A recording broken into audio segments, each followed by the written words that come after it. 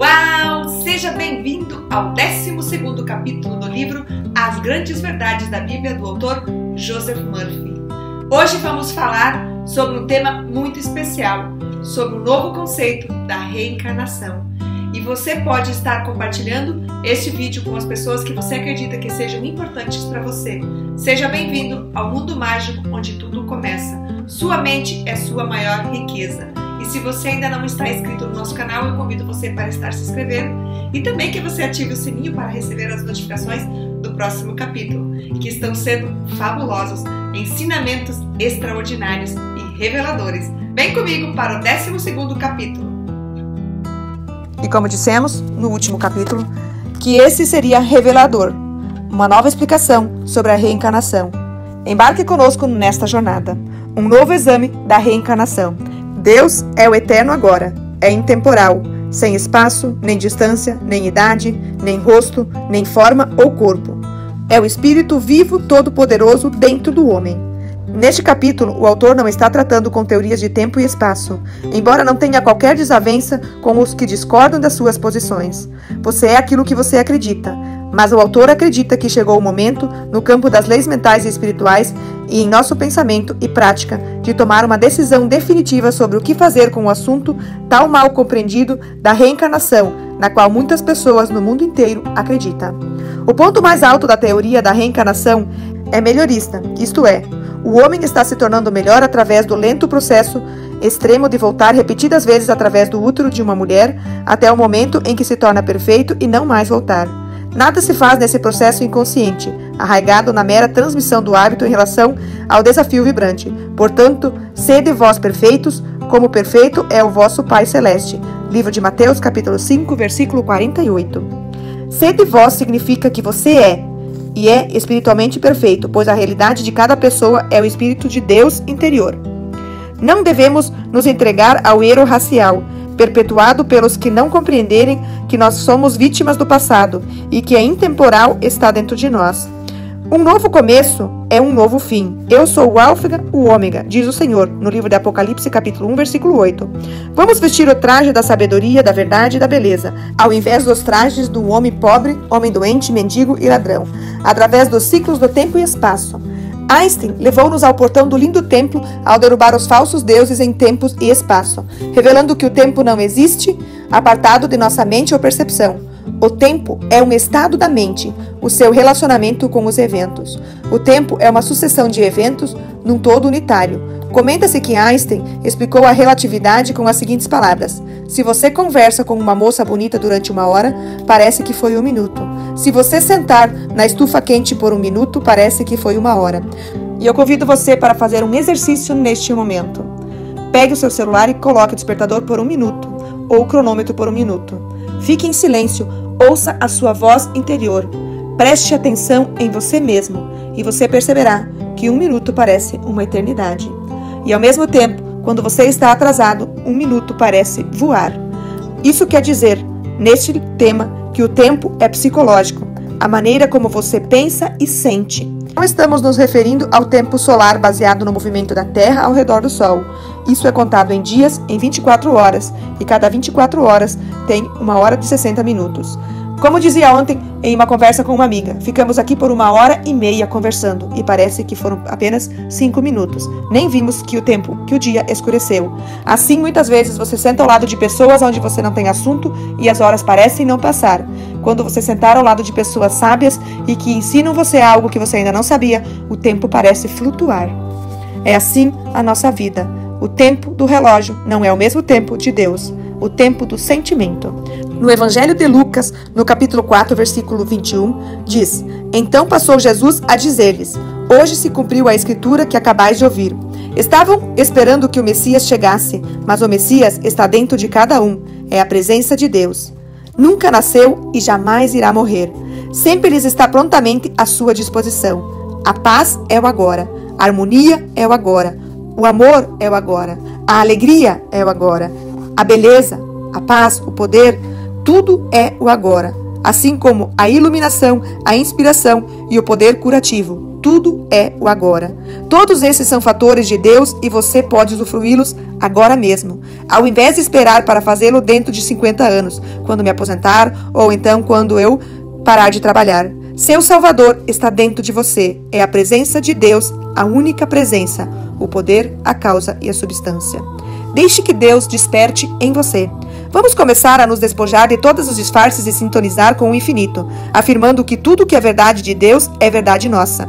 Isso significa essencialmente que devemos deixar de acreditar na ronda automática e exaustiva de renascimentos no plano tridimensional, em que nos vestimos com trajes subalternos de escravos de pensamentos e vidas carnais e materiais. O pensador científico espiritual encara a teoria da reencarnação de um ponto de vista inteiramente novo. O pensador científico começa com o padrão da montanha, no qual o homem está unido a Deus. Devemos deixar de tentar de nos tornar o homem iluminado e a semelhança de Deus, baseados na crença lenta de milhões de pessoas que confiam no karma e reencontro para despertarem com trajes que não se ajustam a um filho do infinito, uma criança da eternidade. Todos devemos usar o traje apropriado, o ânimo e o sentimento, que é o manto real inconsultil, Caso contrário, permaneceremos nas trevas da ignorância espiritual. Se todos os seus pensamentos fossem de amor, paz e harmonia durante o dia inteiro, seu corpo se tornaria tão rarefeito que as vibrações moleculares o tornariam invisível. Contudo, estaria aqui. Seus entes queridos o cercam neste momento, separados somente pela frequência. A lei da vida é a lei da fé. Ao acreditar na teoria da reencarnação, ou ciclos incontáveis de renascimento nessa terra, você se afasta do porto seguro e cai da graça espiritual. Pensa subconsciente em ciclos de renascimento carnal para espiar ou reparar pecados, erros ou crimes em vidas anteriores, prende-o à servidão espiritual, indicando um sentimento de culpa. Tudo isso resulta em autopunição, já que o espírito ou princípio da vida, Deus, em você não condena nem pune. Todo julgamento é concedido ao filho, que é a sua mente. Tu és tão puro de olhos que não podes ver o mal, e a opressão não podes contemplar. Abacuque capítulo 1, versículo 13. Comece agora a se despojar de todos os fogos karmáticos e purgatórios pela verdade, fé e crença no amor de Deus e na beleza de Deus, aqui e agora, enveredando pelos campos de verdade e beleza. Não se deixe iludir por uma miragem de mero melhorismo. Recuse-se a ficar satisfeito com qualquer coisa, exceto a terra prometida da realidade espiritual. O vinho da sabedoria espiritual. Nos círculos médicos, é habitual se destacarem os manuais de patologistas e medicamentos de ontem. Da mesma forma, descarte-se dos trajes antigos de homem pobre, homem doente e etc. E chegue ao momento da decisão da sua mente, em que o melhor vinho da sabedoria espiritual será oferecido aos convidados que anseiam por algo mais pleno. A nova física nuclear, com grande coragem e fé, também descartou sem qualquer hesitação o errado conceito atomístico de ontem. Os físicos expressam os seus milagres com a transmutação nuclear, fusão do espaço, televisão, rádio, viagens espaciais, energia atômica. A ciência também está começando a se ajoelhar e orar diante do altar do ser. Trabalhando no vinhedo da própria mente, você também pode produzir os melhores frutos. Abra a mente e o coração ao fluxo do Espírito Santo. Todos os conceitos sem valor devem ir para o limbo da ignorância espiritual. Entre eles destacam-se a teoria da reencarnação, pelo qual o processo e o progresso é determinado pelo pensamento antigo e secular. Quando Jesus disse: Não vem o reino de Deus com visível aparência, não dirão: Ei-lo aqui ou lá está, porque o reino de Deus está dentro de vós. Lucas capítulo 17, versículo 20 e 21. Não estava antecipando a relatividade dos conceitos no tempo e espaço? Quando ele declarou: Agora é o tempo da oportunidade. Agora é o dia da salvação. Livro de, de Coríntios 2, capítulo 6, versículo 2. Não dizeis vós que ainda há quatro meses até a ceifa? Eu, porém, vos digo: Erguei os vossos olhos e vede os campos, pois já branquearam para a ceifa. Livro de João, capítulo 4, versículo 35. E, antes que Abraão exista, eu sou. João, capítulo 8, versículo 58. Não estava destruindo tempo e espaço em termos de salvação da alma e redenção do homem da servidão das errôneas crenças orientais e ocidentais? Jesus demonstrou a ressurreição imediata, assim abreviando todo o processo de reencarnação no caminho para a terra prometida da realização espiritual. Hoje estarás comigo no paraíso. Livro de Lucas, capítulo 23, versículo 43. Não amanhã, na próxima semana ou no ano que vem, pois aos olhos dele o tempo não existe. Livre-se mentalmente da prisão física a que se impôs psicologicamente. Torne-se um filho de Deus e alcance a alegria sob as estrelas matinais, da luz, do amor, verdade e beleza, que são intemporais e iluminam os céus da sua própria mente. A verdadeira encarnação. Abandone todos os altares e ídolos inferiores e comungue com Deus que habita em você. De mãos limpas e coração puro. Todas as coisas são puras para os puros. Livro de Tito, capítulo 1, versículo 15. Cada vez que você reza, se apropria mais da divindade, teve uma reencarnação em termos espirituais. A verdadeira reencarnação é o nascimento de Deus em sua mente e coração, em que você é invalidado por um frenesi de Deus, torna-se inebriado de Deus. Isso não significa que você tenha que renascer nessa terra ou planeta. A palavra terra significa muito mais do que este mundo em particular. Terra no I Ching e na simbologia significa manifestação, que você também significa que você pode expressar e experimentar uma extensão maior da divindade na próxima dimensão da vida, para onde vai em todas as noites de sua vida e que homens, em sua ignorância, chamam de morte. Como pode Deus morrer? Deus é o espírito vivo em você. Outro dia ouvi um professor me dizendo: Você nasce e morre todos os dias quando você deita, dorme e acorda no dia seguinte. O que você faz enquanto você dorme, somente o seu subconsciente sabe. E é no subconsciente que tudo acontece. A sua vida está em seu subconsciente. Todas as histórias vividas e experimentadas estão armazenadas em seu subconsciente. E enquanto você dorme, é ele que organiza as suas ideias e faz a manifestação de tudo aquilo que você acredita. Assim, na Escritura hindu está escrito: O Espírito nunca nasceu e nunca morrerá. A água não o molha, o fogo não o queima, o vento não o sopra. Assim sendo, por que você deve lamentar aos seus entes queridos em outra dimensão? A vida é crescimento, é expansão, é renovação. A jornada deles é para frente, para cima, para Deus. Vão de glória a glória, de força em força, de sabedoria a sabedoria superior, pois não há fim para a glória que é o homem. O que é verdade num plano da vida é verdade em todos os planos. Os seus entes queridos na próxima dimensão crescem, aprendem e se expandem em sabedoria. Há mestres lá, assim como aqui. Na verdade, os entes queridos estão ao nosso redor, embora separados por incidências de vibrações. Este é um mundo de densidade, frequência e intensidades. A criança cuja vida se apagou no útero materno vive para sempre é uma nota de ornamento na sinfonia de toda a criação. Numa grande sinfonia, todas as notas são importantes. A criança cresce, se expande, se desenvolve e escuta toda a sinfonia, tendo um acesso subjetivo a todos os entes amados nesse plano e no próximo, os quais, através do amor, se integram na grande sinfonia chamada de Música das Esferas. Jesus, Moisés, Buda, Paulo e outros iluminados são os grandes maestros que conduzem a todos nós na grandiosa sinfonia da criação. Você não é vítima de karma. O karma geralmente é considerado como força gerada pela ação de uma pessoa, sendo o principal motivo do hinduísmo e do budismo para a sucessão de renascimentos e mortos, até que se alcance a libertação espiritual, quando então ficam livres dos efeitos de tal força. Encare de uma maneira simples: é a lei da ação e reação, do semear e colher. Tudo o que se grava no subconsciente se manifesta como experiência, eventos, circunstâncias e condições. Quando se aprende as leis da mente, não se é mais vítima, mas sim um vitorioso. Não há tempo nem espaço no princípio da mente. Portanto, você pode começar neste exato momento a transmitir ao seu subconsciente novos padrões vitais de harmonia, plenitude, beleza, alegria, amor e boa vontade para todos. Haverá uma reação automática no seu subconsciente, de acordo com os seus pensamentos e imagens espirituais e habituais. Imagine um balde cheio de água suja e nele despeje água destilada até mesmo gota a gota. Se tiver paciência, acabará por ter uma água pura e limpa, que poderá até mesmo beber. Da mesma forma, você poderá limpar os estábulos que estejam sujos há mais de 40 anos. Para a água que você usa, não faz a menor diferença se os estábulos só ficaram sujos ontem ou assim já estavam há 50 anos. O mesmo acontece quando você despeja no seu subconsciente as águas da vida. Maravilhas irão ocorrer em sua existência. Reserve um tempo pela manhã e pela noite e afirme com sentimento e convicção e alegria a seguinte mensagem. Os oceanos infinitos da vida, amor, alegria, verdade e beleza estão fluindo através de mim, harmoniosamente, pacificamente, revigorando, limpando, curando e transformando todo o meu ser. A plenitude e paz de Deus reinam supremas na minha mente e coração. Estou purificando o entorno o canto da alma exultante.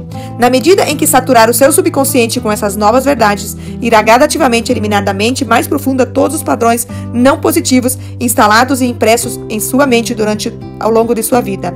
A prece muda as coisas ao mudar a pessoa que está orando. Não importa qual seja o problema ou quão difícil possa parecer é de ocorrência de pensamentos e emoções negativos alojados em suas profundezas subjetivas, povoando na mente com as verdades de Deus, ou seja, as verdades eternas. Você alija e neutraliza tudo o que é contrário a Deus. Quando você decidir mudar a sua vida, mudando a forma como você pensa, sente e age sobre si mesmo, automaticamente estará começando a mudar sua vida. E o convite que eu venho fazer até você neste momento é para que você analise o que não estiver bom em sua vida e que, não, que você não esteja gostando, para que você transforme e viva uma vida extraordinária. Vamos supor então que você tenha usado erroneamente os princípios da matemática durante 20 anos e que talvez tenha causado inúmeras dificuldades e prejuízos financeiros a sua conta bancária. E só agora que você aprendeu a somar, subtrair, multiplicar, certamente compreende que os princípios da matemática nada têm a ver com você. No instante em que começa a usá-los de maneira correta, há uma reação automática. O engenheiro está construindo uma ponte, tem que se conformar com os princípios da matemática. Aprende tudo a respeito de tensões. Quando constrói uma ponte, está fazendo uma prece, porque se conforma com o princípio universal que existia antes do homem caminhar sobre a terra. Se você está usando erradamente os princípios da lei da química, vai ter muitos problemas. Mas quando aprende tudo sobre valência, leis da atração, repulsão, pesos atômicos, pode produzir compostos maravilhosos que irão abençoar a humanidade. O bom senso lhe diz que os princípios da química não têm qualquer ressentimento contra você, só porque não os usou antes de maneira correta. A mente também é um princípio. Quando se pensa o bem, o bem se segue. Quando se pensa negativamente, o que se segue é a negação e sofrimento. O karma, ou lei da ação e reação, é inexorável, somente enquanto não oramos. Um novo começo é um novo fim. Eu sou o Alfa e o Ômega, o princípio e o fim. Apocalipse 22, 13. As mudanças de atividade mudam tudo. Transformai-vos pela renovação de vossa mente. Romanos 12, 2. O falecido Ernest Holmes, autor de A Ciência da Mente, contou-me que havia estudado com Emma Curtis Hopkins, a qual lhe falara certa ocasião de um evento maravilhoso registrado nos arquivos de uma instituição penal estadual. Vou contar a essência. Há mais de 70 anos, um homem foi condenado à forca. Durante o intervalo entre a sentença e a execução, ele tornou-se consciente do amor e verdade em relação a Deus. Num panfleto que lhe deram, aprendeu que Deus era o libertador dos maus. Tu és tão puro que seus olhos não podem ver o mal, e a opressão não podes contemplar. Abacuque 1:13. Deus não condena, não julga e não pune. Você é que pune a si próprio pelo uso errado da lei. Este assassino olhou para Deus e seu amor, contemplou as maravilhas de tudo, procurou o rosto do bem supremo. Quando olho para o seu rosto, eu o reconheço. Deus não possui rosto, forma ou corpo. Deus é espírito. Ou seja, ele reconheceu a grande verdade, porque o Senhor é bom, a sua misericórdia dura para sempre, e de geração em geração a sua fidelidade. Salmos 100, capítulo, versículo 5. O homem de fato cometera o homicídio pelo qual fora condenado. Para a grande confusão e perplexidade dos agentes da lei, a plataforma da força, que normalmente se abria a menor pressão, não se mexeu quando ele pisou nela. Tentaram outras vezes em vão, até finalmente decidirem dar-lhe a liberdade. A eficácia da proteção do alto, que significa adoração e veneração de Deus, a presença divina.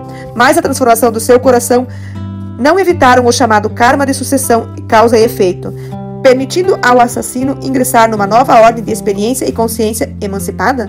O amor de Deus supera todo e qualquer compreensão, ilumina os caminhos que trilhemos e as maravilhas e bênçãos de Deus não têm fim. Foi o que aconteceu com este homem, quando ele entendeu que o poder curativo e o poder infinito de Deus está dentro do homem, ele conseguiu fazer com que aquela guilhotina não se movesse naquele momento através do poder do seu pensamento. E é isso que acontece quando você começa a entender as leis da sua mente. Karma ou colher é o que semeou, só é algo inflexível e inexorável quando não se reza nem se medita sobre as verdades de Deus. Mas é preciso ressaltar que a simples leitura de afirmações ou orações superficiais não vai mudar as coisas. Não são os seus pensamentos ou as suas leituras que farão você mudar. Bem-aventurados os que têm fome e sede de justiça, porque deles serão fartos. Mateus capítulo 5, versículo 6. Um desejo intenso de se tornar um novo homem em Deus e povoar a mente com as grandes verdades de Deus permite que seja um homem transformado. Com a lei do subconsciente é compulsiva, você é compelido a expressar as suas suposições e convicções interiores e não mais pode refletir sobre os erros anteriores você se eleva acima do karma e as consequências desagradáveis dos erros anteriores são eliminados. Não importa quão horrível tenha sido o seu crime, pode ser expurgado da mente quando nos elevamos o bastante na consciência de Deus. Muitas pessoas vivem uma vida infeliz, frustrada durante toda uma vida.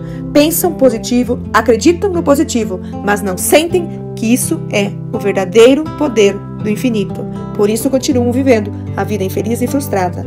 Apenas pensar no positivo não é o suficiente. Você precisa acreditar e sentir como sua nova verdade.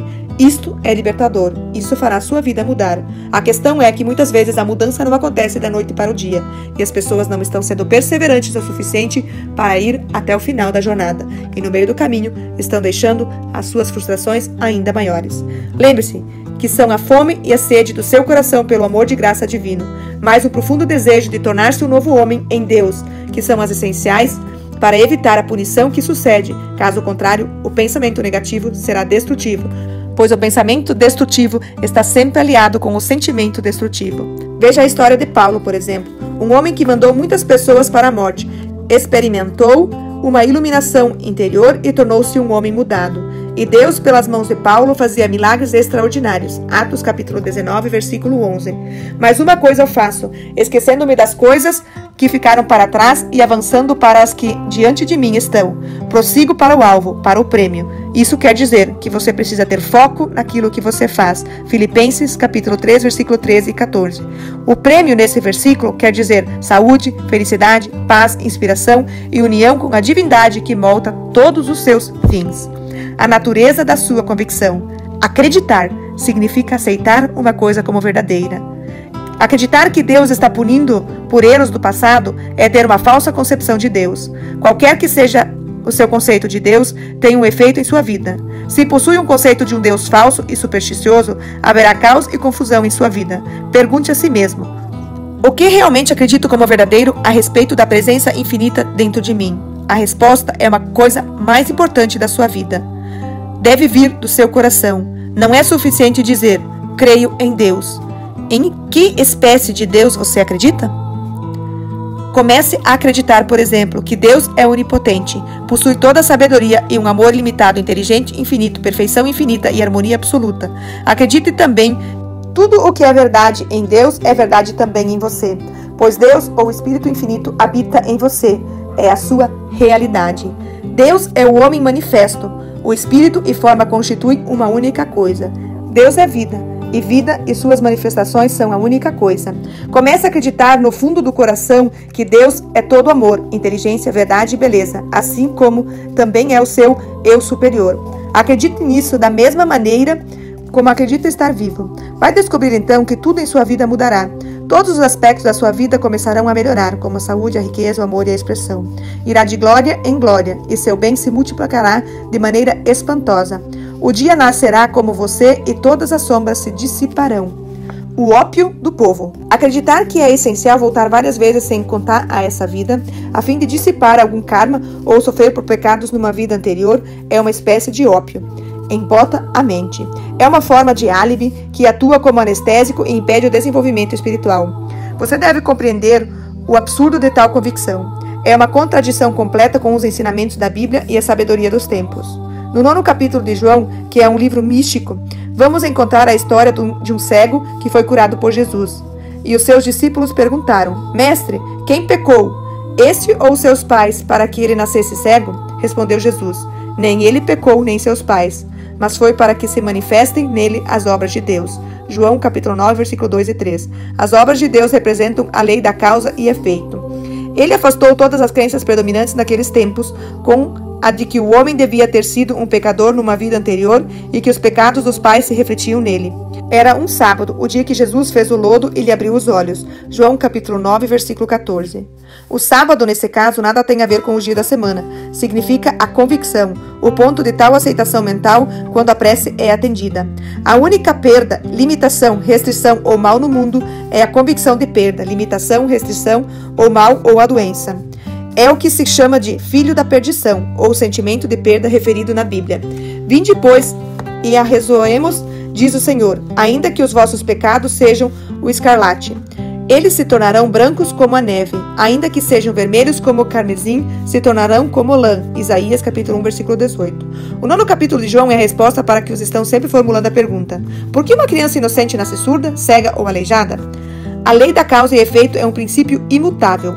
Você pode usá-la conscientemente. Se estiver usando erroneamente a lei no sentido errado, pode inverter a atitude mental. Neste caso, mudará a sequência dos eventos. Eu formo a luz e crio as trevas, faço a paz e crio o mal. Eu sou o Senhor, faço todas essas coisas. Isaías 45, versículo 7. Isso significa que você pode usar as leis da mente de duas maneiras. Como usa sabiamente e consultivamente, os homens chamam de Deus ou bem. Quando a usa negativamente, maldosamente, na ignorância, estupidamente, os homens chamam de mal, porque infligimos todos os sofrimentos a nós próprios, orientando a lei da vida para todo o lado errado. Nossos sentimentos e ânimos criam. Qual é o seu ânimo durante o ato criativo? Se os pais, por exemplo, tinham alguém cuja vista odiassem, se houvessem alguma voz que ouvissem e ressentissem, se estavam bêbados ou sob a influência de tóxicos, sendo fertilizado um óvulo durante o ato criativo, produz-se uma manifestação correspondente. Há estados de cegueira e surdez na consciência de que decorrem crianças cegas e surdas. Qualquer que seja o ânimo dos pais, uma expressão correspondente decorrente pela lei do relacionamento recíproco. A criança não é uma vítima da hereditariedade no verdadeiro sentido do termo. A criança que nasce é uma vítima do ânimo dos pais durante o coito. Está escrito em Ezequiel: Que tendes vós, vós que, acerca de, da terra de Israel, proferis este provérbio, dizendo: os pais comeram uvas verdes e os dentes dos filhos que se embotaram. Tão certo como eu vivo, diz o Senhor, jamais direis este provérbio em Israel. Ezequiel 18, 2 e 3. A única coisa transmitida aos filhos são os ânimos, os estados mentais ou convicção dos pais. É possível, por exemplo, qualquer pessoa ter um filho em condição de se tornar um Shakespeare, Beethoven, Lincoln e Paderewski. Essencialmente ou especialmente se está constantemente pensando nas qualidades de uma dessas personagens por ocasião da concepção. Conheci um casal cego em Nova York que teve um filho maravilhoso. Ele se tornou um médico eminente, um homem iluminado. Conheci também um casal tuberculoso em Nova York que teve uma filha maravilhosa, o qual mais tarde tornou-se uma música excepcional, mãe de duas crianças adoráveis. Se você está elevado na consciência ao ponto de aceitação ou convicção de que seu filho será um homem nobre, digno e espiritual, neste caso, nos termos da lei de relacionamento recíproco, irá se produzir um ânimo correspondente no infinito. O pecado dos pais são os medos, as superstições, falsas crenças e ansiedades que perturbam os filhos. Estes ânimos e estados mentais são transmitidos às crianças, perturbando-as mentalmente e fisicamente. Os pecados são os erros da mente, o mau uso da lei. Pecamos quando nos afastamos do alvo de harmonia, saúde e paz. Os atos bons e maus de os pais e avós não podem ser transmitidos através da mente. É desta maneira que as superstições, medos e erros de geração passada são legados à atual. Um pai, por exemplo, incute o temor a Deus, descrevendo uma imagem de uma divindade punitiva, que irá castigar o filho. Esse cresce acreditando num Deus que irá, uma espécie de déspota vivendo nos céus dominando o mundo de acordo com os seus caprichos alcançando a libertação. Na medida em que você começa a compreender a onipotência do espírito interior e o poder do seu próprio pensamento, deixa de conceber poder a qualquer outra coisa, instalando os conceitos de liberdade, paz, alegria, plenitude, e sua mente vive com essas coisas entrando na realidade delas. Em outras palavras, sente que é um filho de Deus, herdeiro de todas as qualidades, poderes e atributos de Deus. Proclama sua própria libertação e escreve própria declaração de independência no coração. Comece a amar todas as coisas boas. A lei da mente reagirá de acordo, abrindo portas do paraíso e despejando uma bênção tão grande que não há espaço suficiente para receber. A lei das médias. O falecido juiz Thomas Tower, em seus incomparáveis livros sobre as leis mentais e espirituais, ressaltou que todos nós estamos imersos na mente da massa, leis da média, como ele chamou a mente racial. Hoje, há cerca de 4 bilhões de pessoas pensando na unicamente. Se não fizermos o nosso próprio pensamento, a mente da massa pensará por nós. Devemos, portanto, sair da mente da massa. E o que quer dizer a mente da massa? É a mente da maioria das pessoas que hoje tem as suas verdades em suas próprias verdades, que não abre a sua mente para aprender e reaprender todos os dias. Aquilo que você acreditou ontem pode ser que hoje já não seja mais a sua verdade. As crenças que você teve desde a sua infância podem não ser mais as suas novas verdades hoje. E se você nasce, cresce e morre sempre na mesma verdade, você é uma mente da massa. Jesus não disse ao cego: deve expiar por seu karma. Nada disso. Ele curou-o instantaneamente, pois a presença infinita não condena ninguém. Embora seja aleijado, um homem pode ser curado. Se é surdo, pode ouvir. Os cegos ficam curados em Lourdes, em outros santuários, pela sua fé e por acreditarem que podem ser curados. Não é o santo que cura, e sim a sua fé em acreditar. Então não julgue as pessoas por elas acreditarem em imagens e santos. Eles estão acreditando na fé. A imagem é apenas um objeto da fé. Mas se isso serve para que a pessoa obtenha a sua cura, respeite a cura da outra pessoa. Isso fará com que você se torne a sua própria cura. Outro Mozart pode nascer. Todos os grandes homens e mulheres que já viveram neste planeta ainda vivem e deixam suas realizações, experiências e conquistas como impressões da mente subjetiva e universal. Tomamos conhecimento de suas obras em histórias, canções e prosa. O filho de um homem, psicologicamente falando, é a ideia ou sentimento a respeito de qualquer coisa. Ele pode dar concepção a qualquer estado que deseja conceber. Assim, se um homem admira e se detém as qualidades e atributos de Mozart, interessa-se intensamente pela realização musical dele e adoraria gerar um filho igual tanto por dentro como por fora.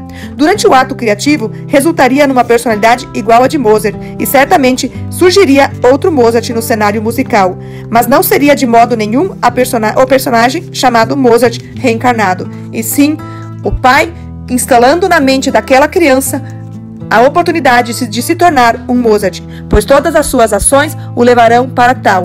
Desde o nascimento, estará com um instrumento musical em suas mãos, e é a prática que levará à perfeição.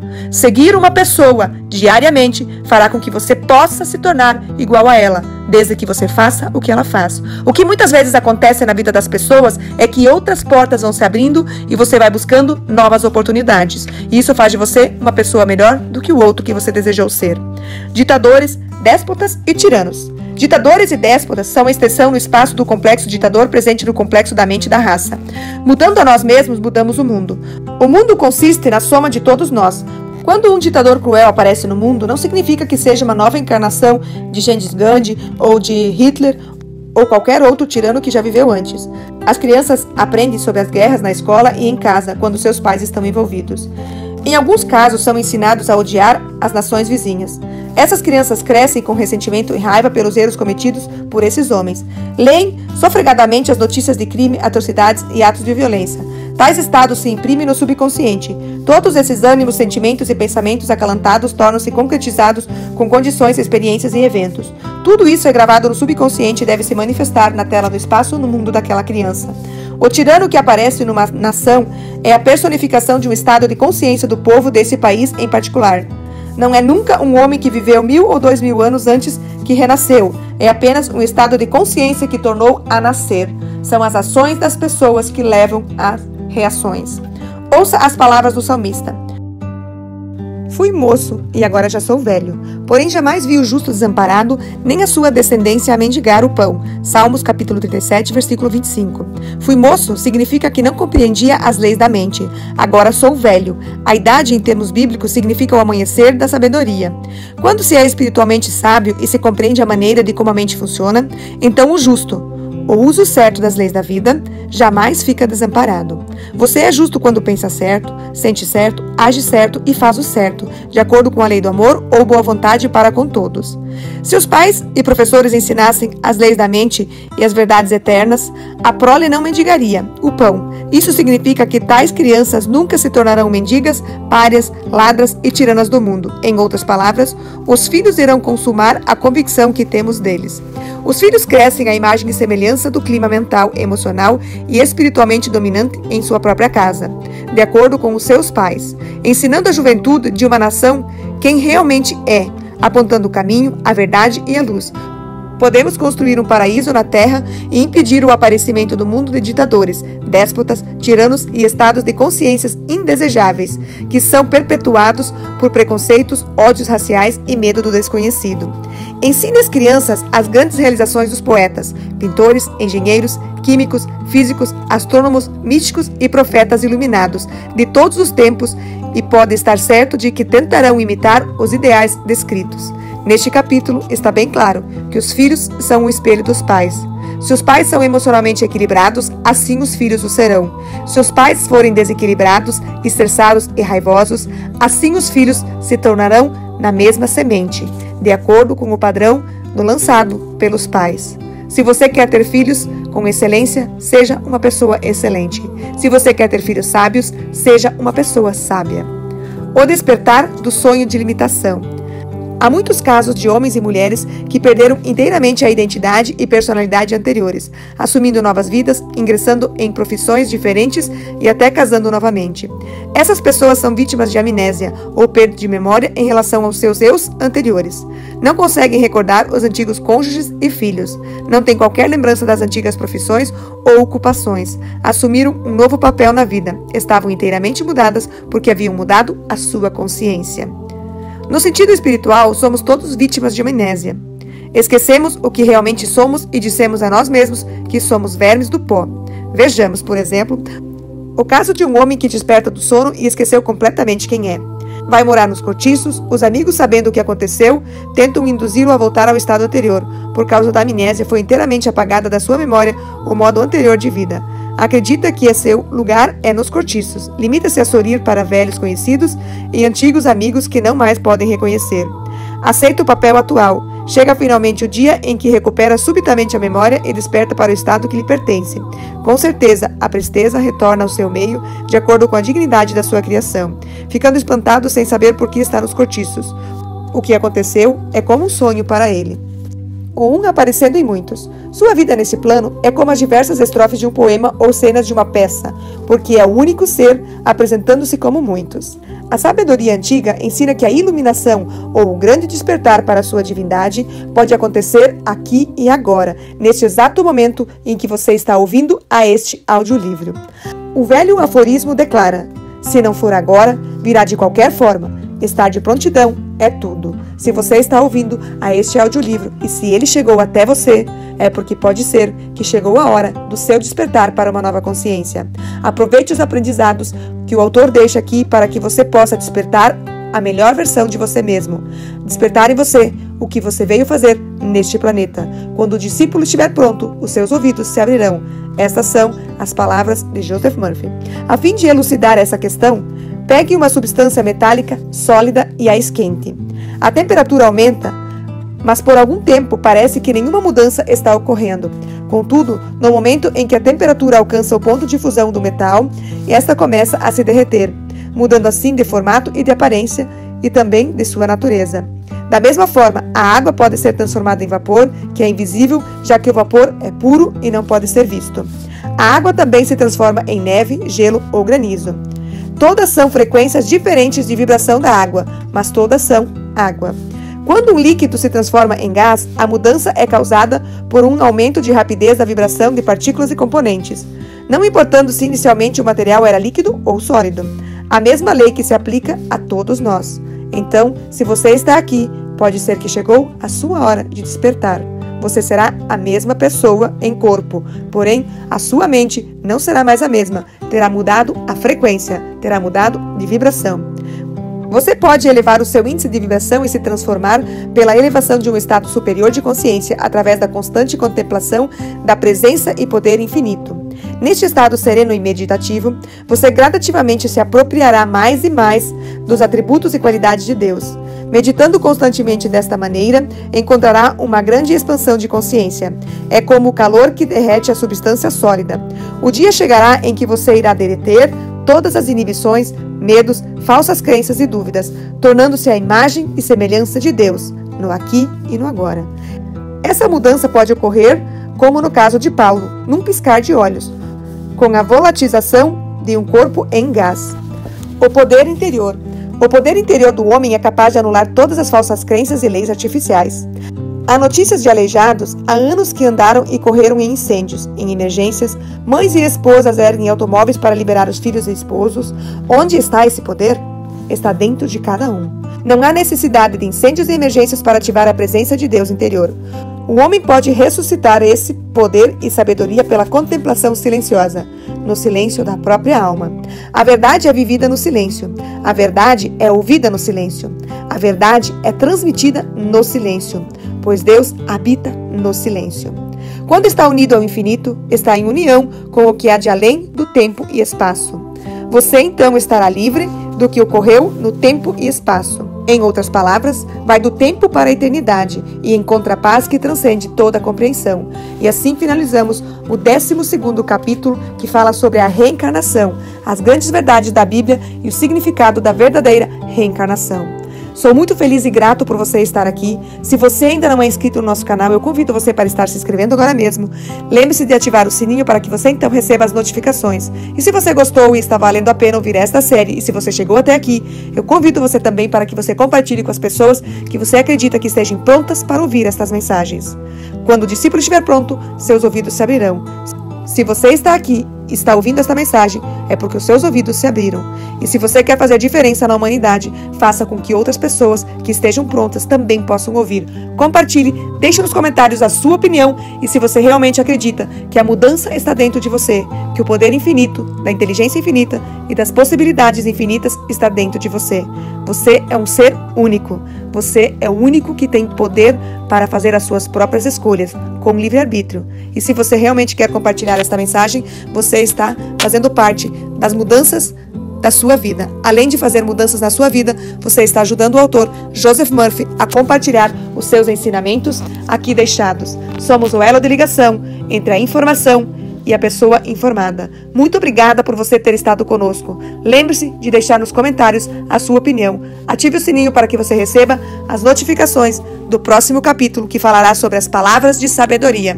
E desta forma, sabedoria é saber. Saber aquilo que você ainda não sabe, para que você faça aquilo que você ainda não fez e que você tenha resultados em sua vida que você ainda não obteve. Encontre o poder de Deus dentro de você. Você é a pessoa mais importante deste planeta. Faça parte dessa história. Você é o autor principal da sua história. Muito obrigado e até o nosso próximo vídeo. Tchau!